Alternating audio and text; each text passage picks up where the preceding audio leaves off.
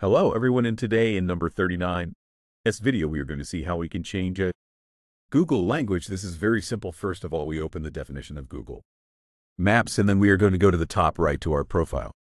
Photo, which by the way is worth so much for iPhone as well as for Android. Then we press the adjustment part, which is this part below, and then we are going to click on the voice search part, slightly lowering here the different languages that Google has appear and we can select the one we want simply by clicking on it. This one here now, well, that and number 39 is only to change the voice search in Google Maps, but as you can see, the application still has the same language all.